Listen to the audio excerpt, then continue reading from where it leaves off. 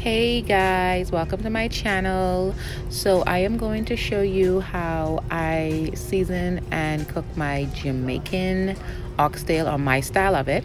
So we're going to be using some green onions spanish thyme regular thyme scotch bonnet garlic shallots yellow onion poblano peppers parsley cilantro and mini bell peppers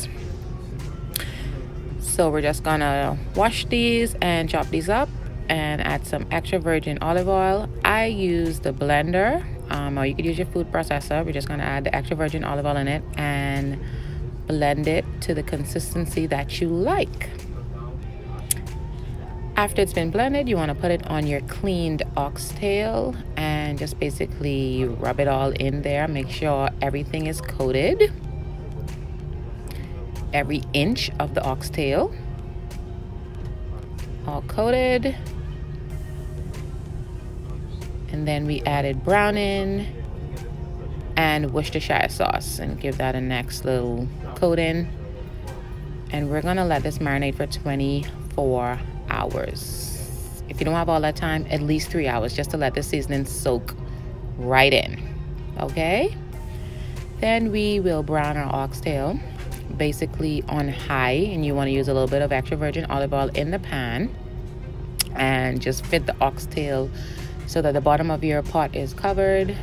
And you want to brown for like it's gonna take maybe 15 20 minutes. You want to brown on each side until you get that nice color on your oxtail.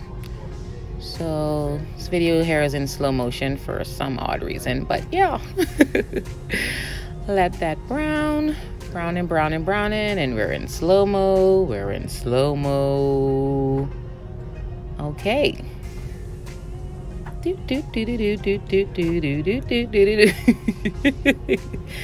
so it's browning browning browning browning browning yes let's enjoy the slow-mo video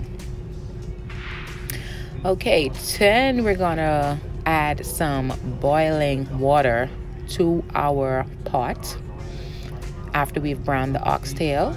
Um, boiling water is key. You don't want to put cold water in or room temperature in on your oxtail after you've already browned it.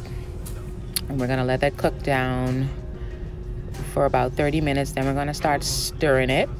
You want to lower your fire and just let it cook down. Total cooking time maybe two and a half to three hours, but you want to check it every 30 minutes and add water as needed but give it a good stir just make sure it's cooking evenly and it's not sticking to the bottom of your pot.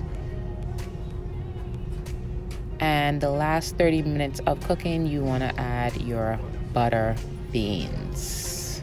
Yes. Major key for oxtail. Add your butter beans and stir that around and let that cook up. I wish you could have smelled this Oxtail is now already nice and tender. It's been cooking for about two and a half hours now. So yeah.